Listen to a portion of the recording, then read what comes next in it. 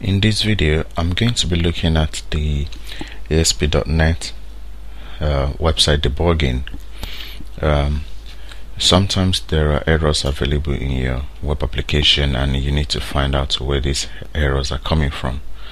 For example, and there are a few ways that you can use to debug your application. So um, let me show you a few of these ways. For example, remember the last time when I uh, created this um, uh, drop down list item had um, I forgot to put the fruit in quotes. So what happens is if you run an application when there's an error in the application when you haven't written the correct you get this little pop-up that says there were build errors. Would you like to continue and run the last successful build?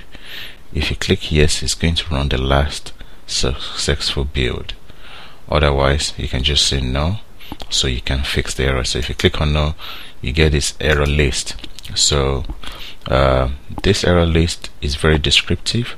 If you read it it says the name Apple does not exist in the current context because uh, it's assuming that the Apple is supposed to be um, maybe an instance of um, any of the controls but it's not there. So that means uh, we have an error. So uh, sometimes maybe if you have a really really large code long lines of code if you double click on this error it actually takes to the uh, to the uh, uh, line where the error exists. So you can just fix it. So it's very easy to find error in such way. So as you can see now as you can see that uh, the error if I remove this last quote you can see that um, the errors have been populated it's telling you a lot of uh, information here.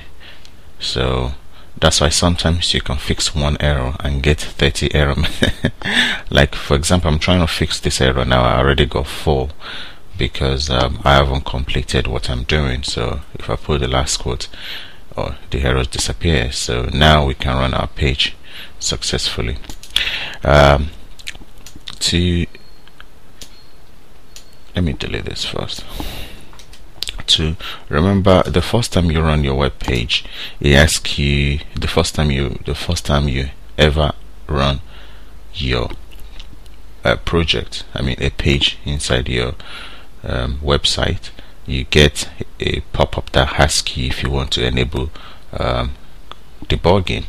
And, uh, and we said yes. So what happened is when you enable debugging inside your web.config file the system.web section the um, debugging will be set to true.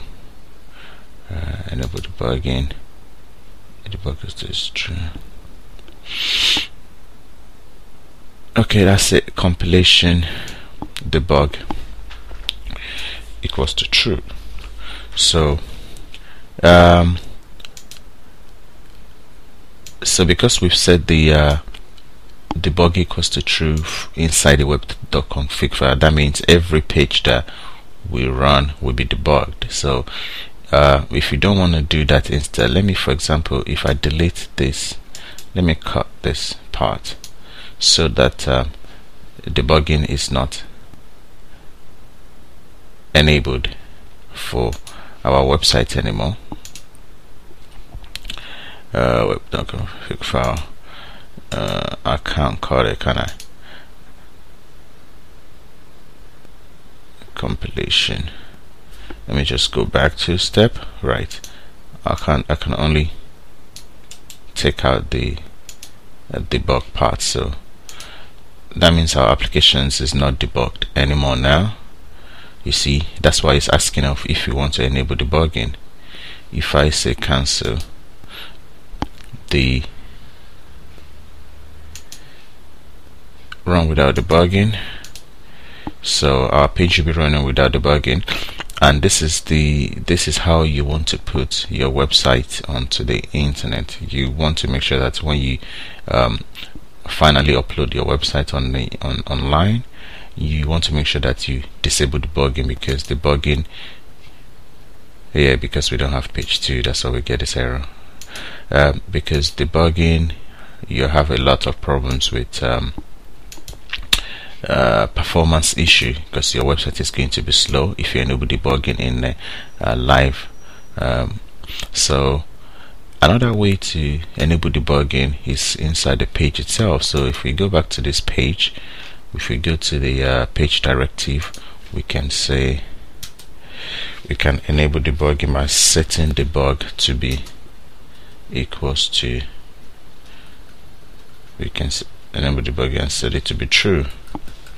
So if we enable debugging to be true that means our application this website itself will be debugged. So it's always going to ask me but um, I don't want to enable debugging inside a web.config file yet but this page is actually debugged on its own so so that's one way to uh, see to you know debug your application.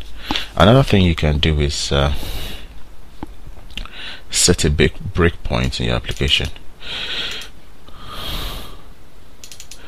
If you set a breakpoint in application like I just did all you have to do is just uh, see this um, gray side of your application. If you set a breakpoint as, as so it means that your application now let's say debug start debugging uh, let's modify the web.configure because it's giving us headache. Now what happened is I'll show you what will happen.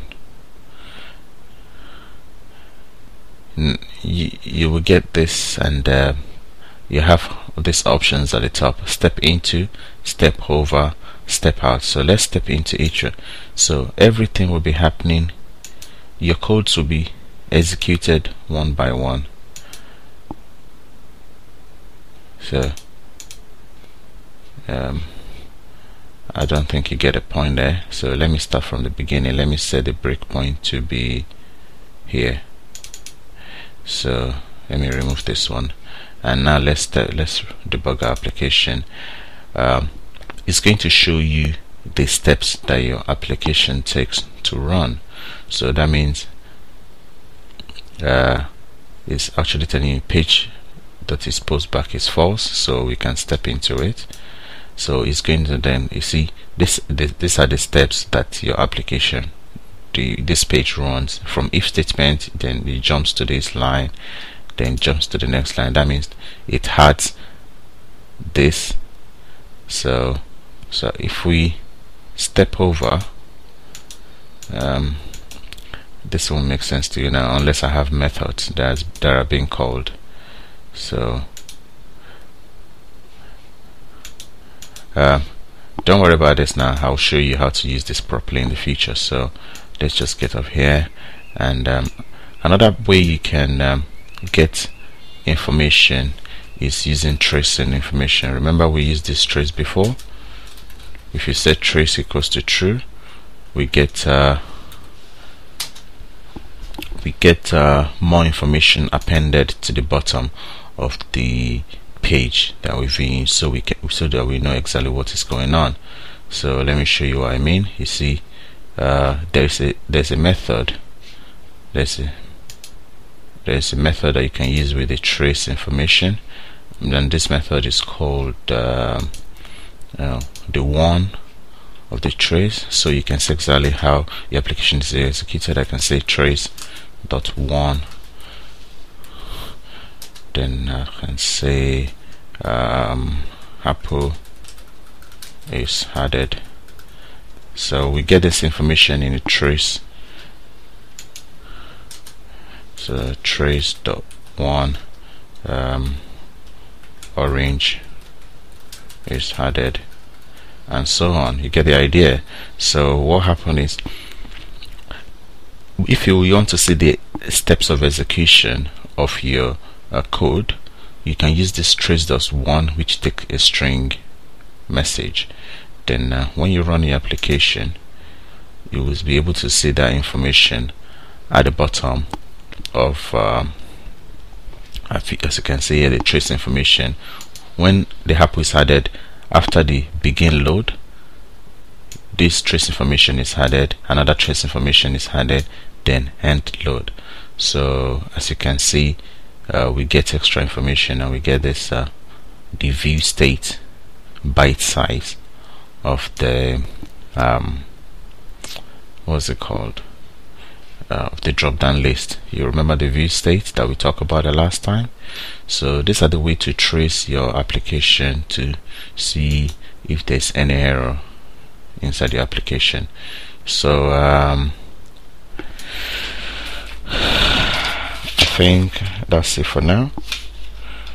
Um, I'm still going to be because um, I haven't really explained how the um, breakpoint works when we get uh, into dealing with errors and um, exception when uh, we're dealing with errors in big time then I'm going to be talking about how to use the um, breakpoint so you can trace the um, you can get the problems that is occurring on your application. So if you have any question do not forget to uh, leave me comment on my blog. Thank you